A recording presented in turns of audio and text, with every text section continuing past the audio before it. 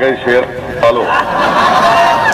آپ کو شیر بنانے آئے بسم اللہ الرحمن الرحیم۔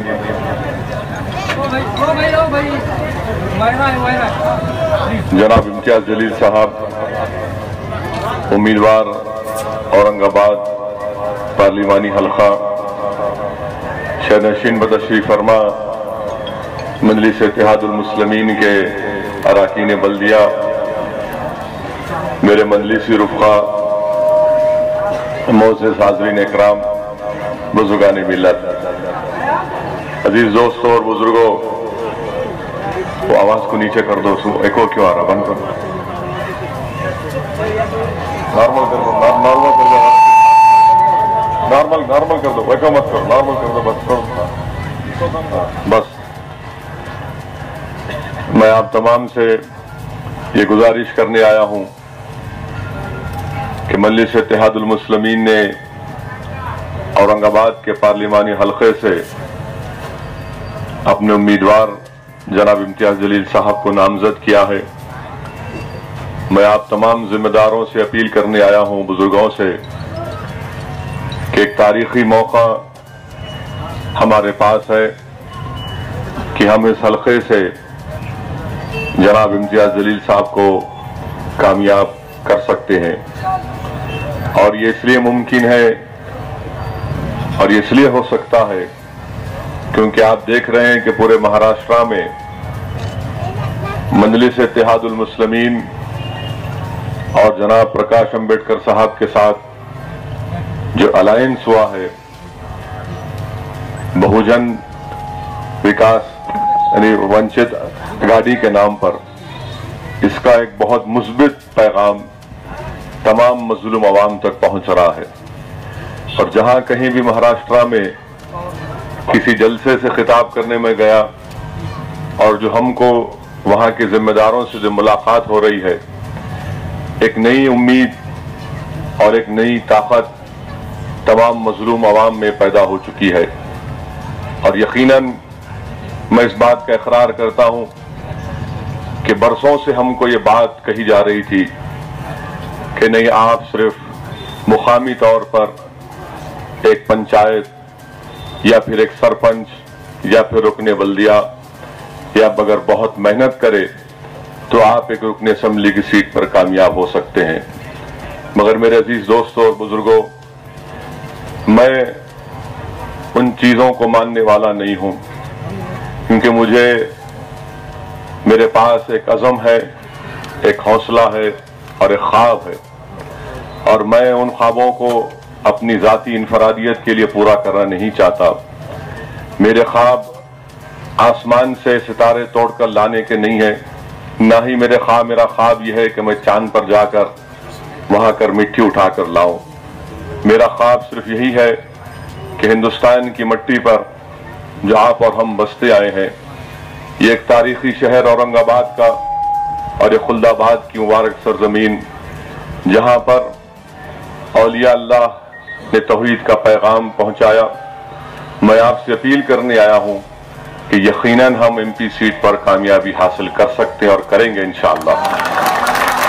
اور جو لوگ آپ سے یہ کہتے ہیں کہ نہیں نہیں، یہ کیا نئی بات کر رہے ہیں، میں نے پچھلے تین چار دن سے کشن گنج بہار سیمانچل کی سرزمین میں وہاں پر انتخابی مہم چلا کر آ رہا ہوں۔ وہاں پر کسی ایک مولانا نے بہت اچھی بات کہی جو لوگ ہم سے آ کر کہتے ہیں کہ ایم پی سیٹ نہیں جیت سکتے، اتنا بڑا خواب مت دیکھو۔ انہوں نے ایک مثال دی، میں آپ کے سامنے رکھ رہا ہوں۔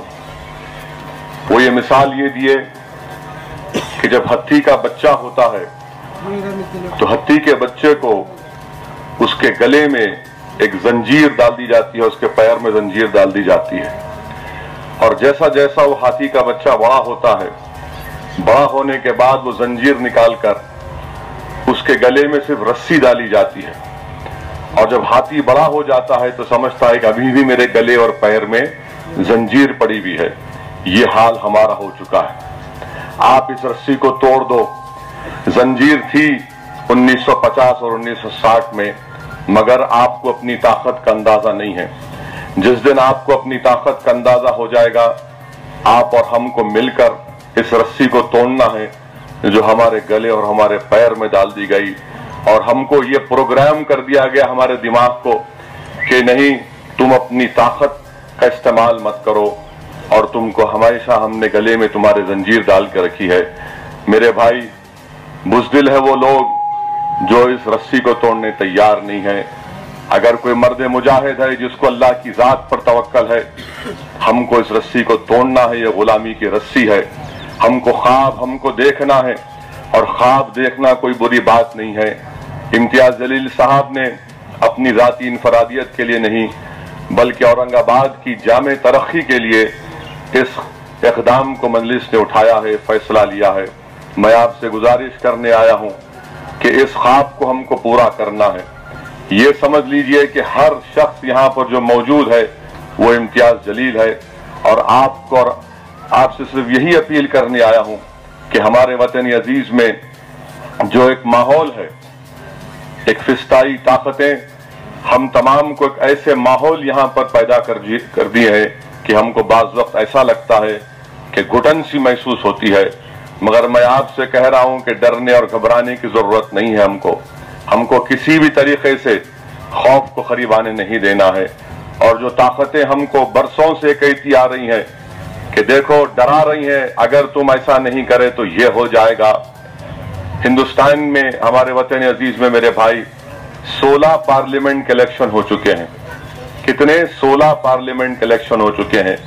انیس سو پچاس کے دہر سے لے کر دو ہزار چودہ تک ہم کو ہمیشہ یہ کہا گیا، اگر آپ ووٹ نہیں دیں گے تو فساد ہوگا۔ ہم ووٹ دیے، فساد ہوا۔ ہم سے کہا گیا کہ اگر آپ ووٹ نہیں دیں گے تو مسجد کو نقصان پہنچے گا۔ ہم ووٹ دیے، مسجد کو نقصان پہنچا۔ ہم سے کہا گیا، ووٹ نہیں دیں گے تو تمہارے گھر بار کی حفاظت نہیں ہوگی۔ ہم نے ووٹ دیا بولنے والوں کو، گھر بار برباد ہو گئے۔ ہم سے کہا گیا ووٹ نہیں دیں گے، تو پھر تمہارے بچوں کو جیل میں ڈالا جائے گا۔ ہم نے بولنے والے کو ووٹ دیا۔ ہم سے کہا گیا کہ تم ووٹ نہیں دو گے، تو دہشت گردی کے قانون میں تمہارے نوجوانوں کے مستقبل کو برباد کر دیا جائے گا۔ ہم نے بولنے والوں کو ووٹ دیا۔ ہمارے بچوں کی نوجوانی، ان کی جوانی برباد ہو گئی مہاراشٹر ہندوستان کے جلوں میں۔ ہم سے آ کر کہا گیا کہ ووٹ دو، ہم تمہاری حفاظت کریں گے۔ ووٹ دو ہم تمہارا مستقبل روشن کریں گے۔ میری بات یقین کریے کہ ہندوستان کی جمہوریت کی ایک تل حقیقت یہ ہے کہ جس کے پاس اس کا نمائندہ ہے، اس کی آواز سنی جاتی ہے۔ اسی لیے میں آپ سے عرض کرنے آیا ہوں کہ آج آپ کے پاس امتیاز جلیل صاحب ہیں۔ مجلس نے امیدوار دیا ہے اور پرکاش امبیڈکر صاحب کی پوری بھرپور تائید ہمارے پاس ہے۔ اور میں اورنگ آباد میں شہر اورنگ آباد میں جہاں کہیں بھی دورہ کیا، میں وہاں پر دیکھا ہوں کہ ایک بڑی تعداد میں جو مظلوم عوام ہے، وہ غریب عوام ہے۔ پہلے سے زیادہ آج وہ مجلس کی کامیابی کے لیے، ونچت بہوجن آگادی کے کامیابی کے لیے کام کر رہی ہیں۔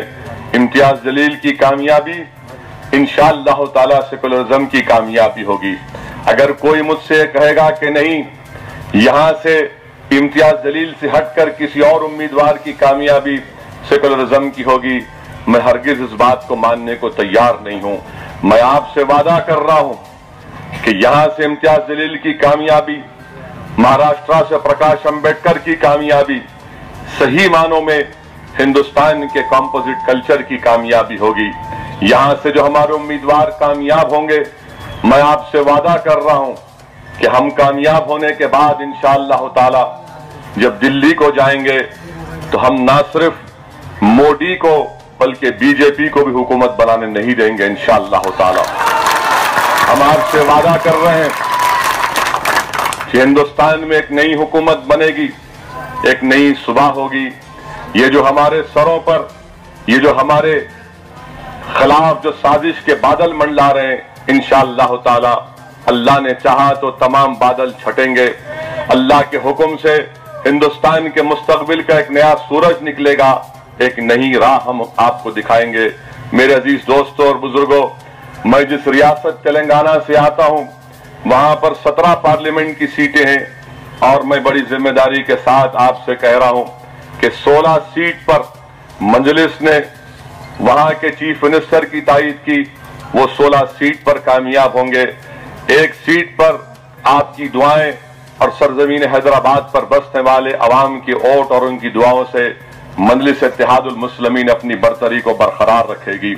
میں آپ سے وعدہ کر رہا ہوں، یہ سترہ ایم پی سیٹ اور پڑوسی ریاست آندھرا میں جگن موہن ریڈی پچیس میں سے کم سے کم بیس سے اکیس پارلیمانی نشست پر کامیابی حاصل کریں گے۔ یہ خود چھتیس پارلیمنٹ کی سیٹیں ہمارے پاس ہوں گی۔ میں کشن گنج سے آ رہا ہوں۔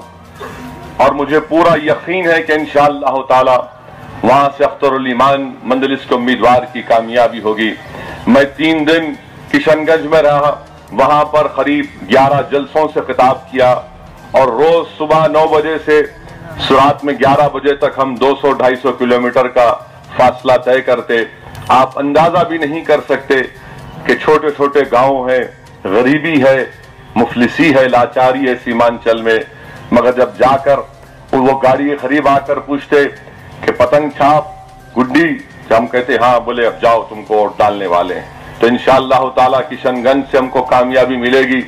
اور اگر آپ تمام نوجوانوں کا، بزرگوں کا ساتھ رہا، تو یقیناً اورنگ آباد سے انشاءاللہ تعالی امتیاز جلیل کی کامیابی یقینی ہے۔ تو میری آپ سے گزارش ہے کہ بے خوف ہو کر آپ اپنے ووٹ کا استعمال کریے۔ یہ جو لوگ ہم کو ڈرا رہے ہیں، یاد رکھیے، اللہ نے ہم کو اس دنیا میں بنا کر پیدا کیا ہے۔ اور ہم سوائے اللہ سے کسی سے ڈرنے والے نہیں ہیں۔ یہ لوگ جو آج آ کر کہہ رہے ہیں کہ بی جے پی موڈی شیو سینا، میرے بھائی، کیا ابھی بھی ہم ڈریں گے ان لوگوں سے؟ کیا آپ ڈرنا چاہتے ہیں ان لوگوں سے؟ کیوں ہم ڈریں گے بھائی؟ ہندوستان میں ابھی بھی سمویدھان ہے، آئین ہے۔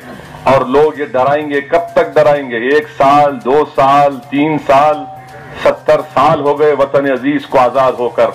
یہ وطن ہمارا ہے میرے عزیز دوستوں بزرگوں خلد آباد کی تاریخی عمارتیں، اگر اللہ ان تاریخی عمارتوں کو زبان دے گا تو پکار پکار کر کہیں گے کہ یاد کرو تمہارے ماضی کو۔ جب کسی وقت میں تم نے یہاں پر جہاں بانی اور حکومت کی تھی۔ میرے عزیز دوستوں اور بزرگوں یہ سرزمین پر ہمارے بزرگوں کی، ہمارے اسلاف کی نشانیاں ہیں اور ان اسلاف کی نشانیاں ہم سے پکار کر کہہ رہی ہیں کہ ڈرنے اور گھبرانے کی ضرورت نہیں ہے۔ ہم کو متحدہ طور پر تیویس اپریل کے دن صبح کے اولین ساتوں میں آپ اپنے گھر سے نکلیے، اپنے ووٹ کا استعمال کریے۔ ہندوستان کی پارلیمنٹ میں اگر منلس کے تین چار نمائندے کامیاب ہو کر جائیں گے تو یقیناً یہ صرف ہم مسلمانوں کی نہیں، بلکہ اورنگ آباد کے ہر اس شہری کی بات کریں گے، جو آج محروم ہے آج اورنگ آباد کا پارلیمانی حلقہ ترقیاتی کام سے محروم ہے۔ اورنگ آباد کے پارلیمانی حلقے میں آپ کو ایک حرکیاتی رکن پارلیمان کی ضرورت ہے، جو صرف فسادات کی بات نہ کرے، بلکہ ترقی کی بات کرے، جو آپ کے حلقے کی صحیح نمائندگی کرے۔ اور تاکہ یہاں پر سب کو ساتھ لے کر چلنا چاہیے۔ ماضی میں شیو سینا کے ایم پی تھے۔ سراسر ناکام۔ برسوں ان کو موقع ملا۔ کچھ کام نہیں کرا سکے۔ جہاں کہیں بھی جاؤ وہاں ہر جگہ وکاس کا نام لیتے ہیں۔ کہیں وکاس نظر نہیں آتا۔ چوکیدار چوکیدار پکارتے ہیں۔ نہیں معلوم کون سا چوکیدار ہے یہ کہ جس کی آنکھوں کے سامنے بم بلاسٹ ہوتا ہے۔ ایک عجیب و غریب چوکیدار ہے۔ جس نے صحت مند لوگوں کے لیے آپریشن کر دیا۔ آج اخبار ہندو میں رپورٹ آئی کہ نوٹ بندی کی وجہ سے ہندوستان میں پچاس لاکھ لوگوں نے اپنے روزگار سے محروم ہو گئے۔ پچاس لاکھ ہندوستان کے لیے ایک بہت بڑا نمبر ہے میرے بھائی، جو روزگار سے ان کو محروم ہو چکے ہیں۔ اس لیے ہم تمام کو کوشش کرنا ہے کہ دلی میں دوبارہ نریندر موڈی یا بی جے پی حکومت نہ بنے۔ یہاں سے امتیاز جلیل کو آپ کامیاب کریے اور انشاءاللہ تعالی دلی میں ہم متروں کو کرسی پر بیٹھنے نہیں دیں گے انشاءاللہ۔ یہ ہمارا آپ سے وعدہ رہا ہے اور میں ہندوستان میں جہاں کہیں بھی جا رہا ہوں، الحمدللہ، یہ ٹی وی چینل کو مت دیکھیے آپ۔ یہ ٹی وی چینل کا تو حال برا ہے۔ یہ تو ایسے ہے کہ بادشاہ وقت کے سامنے سرکار سرکار سرکار جس طرح بولتے تھے، اسی طرح کہہ رہے ہیں۔ بلکہ اگر میں غلط نہ کہوں تو اس اورنگ آباد کی ملک امبر کی ایک تاریخ ہے۔ ملک امبر کو آپ جانتے ہیں نا؟ پاس میں ہی ہے نا انہوں۔ انہوں سو رہے نا بیٹھ تو انہوں پکار کے تمہار کو بول رہے کہ میں ملک امبر ہوں۔ جس طرح میں نے دلی کے اس وقت کے بادشاہ کو للکارا تھا۔ جس طرح ملک امبر نے اس وقت کون تھا؟ دلی کی تخت پر جہانگیر تھا۔ تو ملک امبر جو ہے دلی سے مقابلہ کیا۔ آج موجودہ زمانے میں امتیاز دلیل آپ کا ملک امبر ہے۔ اس ملک امبر کو آپ کامیاب کرو تاکہ دلی کے وہ جو متروں اپنے آپ کو بادشاہ سلطان سمجھ رہا، اس کو یہاں کے ملک امبر کو کامیاب کرو تاکہ ہم وہاں پر انشاءاللہ تعالی دلی میں ایک ایسی سرکار بنے جو ہندوستان کے ہر غریب کے لیے کام کرے۔ میرے بھائی، اس پانچ سال کے دور میں دلیتوں پر اقلیتوں پر، غریبوں پر جو ظلم ڈھائے گئے، اس کا کوئی ذکر نہیں کرتا۔ یہ ٹی وی چینل روز آپ کو دکھائیں گے کہ موڈی جیت گیا موڈی جیت گیا۔ اگر ٹی وی چینل پہ آپ بھروسہ کریں گے تو الیکشن کی ضرورت ہی نہیں ہے۔ الیکشن ہی ختم ہو گیا۔ مگر ایسا نہیں ہے۔ یہ ٹی وی چینل والے جب تیویس مئی کو ریزلٹ آئیں گا، ان کو خود اندازہ ہوگا شرمندگی ہوں گی کہ کتنا جھوٹ یہ لوگ بول رہے تھے۔ ایک ٹی وی چینل کا انٹرویو میں دیکھا۔ کسی ایک ٹی وی چینل میں وزیر اعظم مودی بیٹھے ہوئے ہیں اور ایک محترمہ بیٹھی ہوئی ہیں۔ سوال ان سے یہ کر رہی ہیں کہ مودی جی آپ کے پاس اتنی طاقت کہاں سے آتی ہے؟ آپ کیا ٹونک پیتے؟ نہیں معلوم کون سا ٹونک پیتے۔ ہم روز دو چمچے ہمارے کو بچپن ہے ہمارے اما شہد چٹاتے تھے، چٹاؤ، چاٹو۔ ہم تو وہی شہد چاٹتے آج بھی۔ انہوں کون سا ٹانک پی رہے نہیں معلوم۔ ہنیا یہ سوال ہے پوچھنے کا کہ کون سا ٹانک پیتے آپ مجھے پوچھنے دیجیے۔ کوئی پوچھتا ہے کہ آپ روزہ رہتے، تو وزیر اعظم بول رہے ہاں میں خالی پانی پیتا ہوں، اور کچھ نہیں کھاتے، میں خالی پپیتا کھاتا ہوں میں۔ کیا بات ہے؟ یہ سوال کریں۔ اور ہم ٹی وی چینل پہ جاتے تو ہماری داڑھی سے لے کے، ٹوپی سے لے کے، بھاشن سے لے کے، اکبر سے لے کے پورا ہر چیز پوچھتے۔ ایسا دکھتا کہ کوئی ٹی وی چینل پر میں گیا تو ایسا دکھتا کہ آپ کسی، آپ یعنی کسی کے پاس آپ جا کے اپنا اسم نویسی پیش کرتے نا۔ اسم نویسی معلوم آپ لوگوں کو؟ اسم نویسی جب شادی کرتے نا تو اسم نویسی بناتے۔ باپ کون ہے؟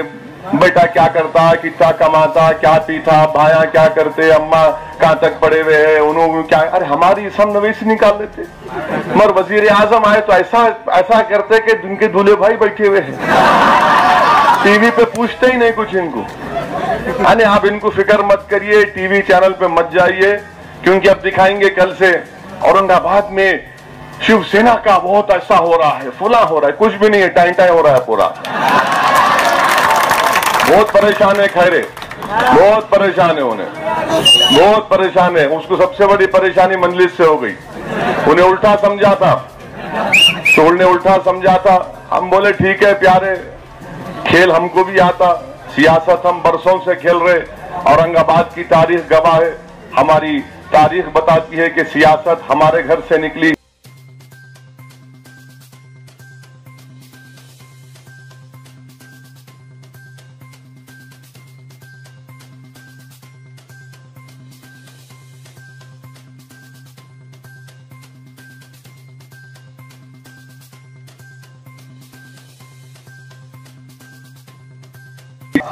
بڑے بھائی، آپ کانگریس سے بات کریے۔ اگر وہ آپ کو عزت کے مطابق آپ کو سیٹ دیتے، آپ لے لیجیے، میرے کو ایک سیٹ بھی نہیں چاہیے۔ تو کانگریس پارٹی کس کو بھی جائے ان سے بات کرنے کے لیے؟ کیا نام ہے نگر کا امتیاز ہو وی کے پاٹل۔ وی کے پاٹل کو بجائے اس کا بیٹا بی جے پی مطروں کے پاس چلا گیا۔ اب وی کے پاٹل خود اب بی جے پی کا کام کر رہے خاموشی سے۔ آپ بتائیے ان کے پاس کیا پالیسی ہے؟ اب کانگریس آ کے ڈرائے گی ہم کو۔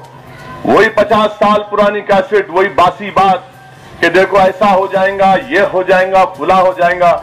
ارے یاد رکھو، جب ڈاکو آتا نا، ڈاکہ ڈالنے، تو غریب کے گھر پہ نہیں ڈالتا، دولت مند کے محل پہ ڈاکہ مارتا انہیں۔ تو اب ڈاکہ تمہارے گھر پہ پڑ رہا تو تم ہم کو استعمال کر رہے۔ کب تک یہ لوگ ہمارے ہوٹوں پر، مظلوموں کے، غریبوں کے، ونچت کے ہوٹوں پر اپنا محل تعمیر کریں گے؟ میرے بھائی، ہم صرف ووٹ ڈالنے والے نہیں ہیں۔ اب ہم کو ڈال کر اپنے آپ کو کامیاب کرنا ہے۔ ایک بہترین امیدوار آپ کے سامنے ہے۔ آپ آگے بڑھیے اور پوری شدت کے ساتھ آپ اپنے کے کوٹ کا استعمال کریے۔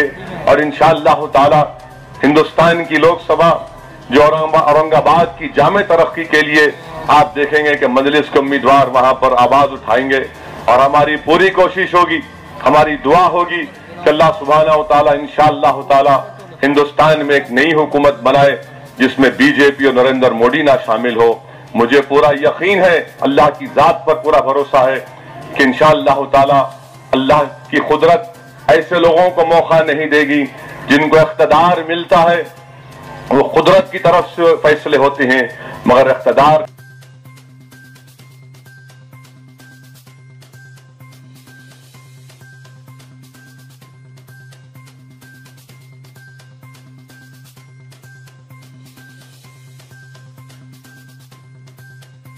نعیم الدین انصاری ہو یا پھر وہ احمد آباد کے وہ مظلوم دلت جن کو پیٹ پر کولے برسائے گئے تھے، یقیناً انشاءاللہ تعالی خدرت ان ظلم کرنے والوں کا ساتھ نہیں دے گی۔ اور جس دن نتیجہ آ رہا ہے، وہ تیویس مئی کے دن ہے۔ اور تیویس مئی کو سترہ رمضان تھی میرے بھائی۔ سترہ رمضان کو کیا ہوا تھا؟ کیا ہوا تھا؟ یہی پریشانی ہے، دیکھو۔ ہم لوگ سب بھول جا رہے خالی انسٹاگرام معلوم فیس بک معلوم واٹس ایپ معلوم۔ پڑھو میرے بھائی، علماؤں کی صحبت میں بیٹھو۔ سیکھو، سمجھو۔ سترہ رمضان کو مارے کے حق و باطل ہوا تھا۔ کیا ہوا تھا اس دن؟ مارے کے حق و باطل ہوا تھا۔ اور اس دن انسانیت کو پیغام دیا گیا تھا کہ جو لوگ بھوکے ہیں فاقہ فاقہ کشی کا شکار ہیں، جن کے جسموں پر کپڑے نہیں ہیں جن کے پاس طاقت نہیں ہے، جن کے پاس دولت نہیں ہے، اقتدار رکھنے والوں سے مقابلہ کرنے کے لیے اور نہتے ہیں۔ اللہ نے انسانی تاریخ کو ایک پیغام دیا کہ جو لوگ غریب ہیں، مفلس ہیں دولت مند نہیں ہیں، مگر جو انصاف کے لیے لڑیں گے، جو میری ذات پر توکل کر کے لڑیں گے، اللہ ان کو غالب کرے گا، اللہ ان کو کامیاب کرے گا۔ اور وہی ہوگا انشاءاللہ اللہ تعالیٰ تیویس مئی کے دن، جتنے ہمارے وطن عزیز میں وقت کے ابو جہل ہیں، انشاءاللہ اللہ تعالیٰ جمہوری طور پر ان تمام وقت کے ابو جہلوں کا خاتمہ ہوگا اور انشاءاللہ اللہ تعالیٰ ہندوستان میں ایک نئے انقلاب، ایک نئے دور کا آغاز ہوگا۔ میرے اورنگ آباد کی حلقے کی عوام سے اپیل ہے کہ اپنا ایک ایک ووٹ پتنگ کے نشان پر بٹن دبا کر استعمال کریے۔ جب آپ پولنگ بوتھ کو جائیں گے اپنے ساتھ وہ شناختی کارڈ لے کر جائیے۔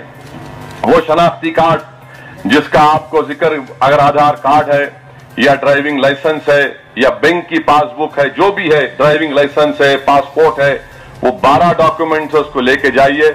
صبح صبح جائیے، ٹی ٹوینٹی میچ کھیلیے۔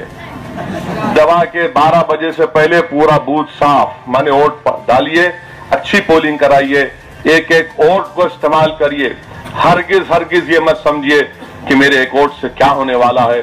ہو سکتا ہے کہ آپ کا ایک ووٹ کی وجہ سے ہی امتیاز جلیل کی کامیابی ہو۔ یہی چند اہم گزار ویڈیو پسند آیا ہے تو لائک کریے، اپنے فرنڈز کے ساتھ شیئر کریے۔ اور اگر آپ کے من میں کوئی کوشچن ہے تو آپ نیچے کامنٹ کر کے